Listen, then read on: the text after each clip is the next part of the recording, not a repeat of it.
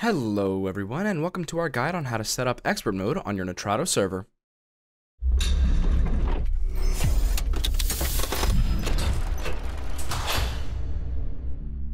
When you're playing Ark, obviously vanilla is a great way to go. And even without mods, there's still a lot of different things that you can change in the vanilla settings. So when you want to change these settings, there is a way to do it on the panel, but sometimes it's best if you do it through the Ark expert settings.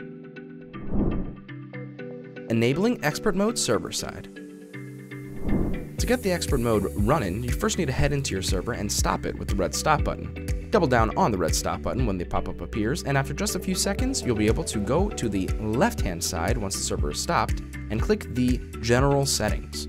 Underneath the General Settings, the new page will pop up, and right underneath Config Mode, which is right at the top, is Expert Mode. You're going to checkmark that, and in the pop-up, click Continue. Once the box has a checkmark, go down to the bottom where you see the green Save Changes button, and hit the green Save Changes button. Adjusting settings in Expert Mode.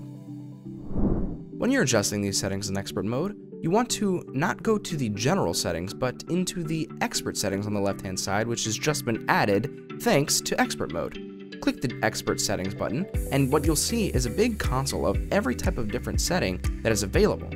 And on top of that, you'll also see different versions of settings.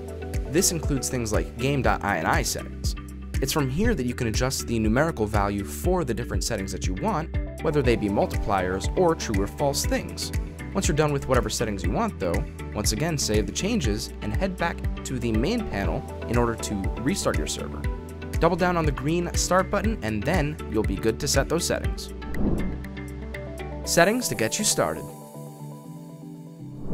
In the description of this video, I'm going to link a number of different things that can help you understand expert mode just a bit better. Whether or not you want to understand the commands, change the maps, add mods, or even back up your server, they will be down there for you. Conclusion Understanding these settings for Ark is definitely going to take practice, and if you'd like to see more, let us know. If you like this video, please consider leaving a like, subscribing, and ringing that notification bell. That way we know this is the type of content that you like to see. Until next time. Huh.